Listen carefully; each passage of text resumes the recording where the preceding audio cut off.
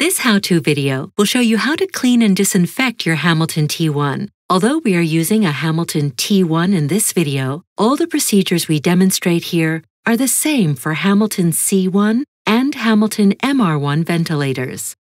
After disconnecting a patient from the ventilator, there are a few things you need to do. After each patient, and according to hospital policy, you should remove the breathing set together with the flow sensor and HME filter and other eventually used components. As a next step, remove the expiratory valve set from the housing. If you are using a single-use expiratory valve set, dispose it.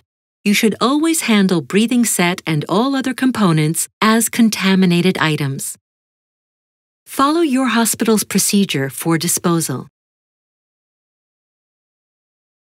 If you are using an autoclavable expiratory valve set, reprocess it immediately after use, following the relevant reprocessing guide. Reprocessing the autoclavable expiratory valve set comprises a few steps.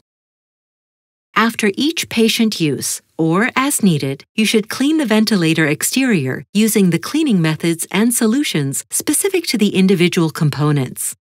Always disconnect the ventilator from the power source before cleaning and disinfecting it. While rolling up the power supply cable, wipe it, and do the same with the oxygen hose.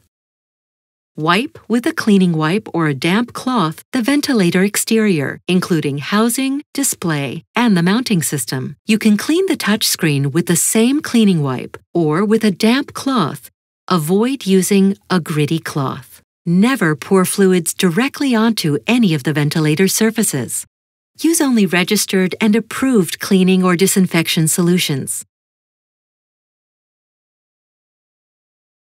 This educational video does not replace the relevant instructions for use. Be sure to read the ventilator's operator's manual, as well as instructions for use that accompany the humidifier or other devices, breathing circuits, and other consumables. Pay particular attention to important safety and hygiene information,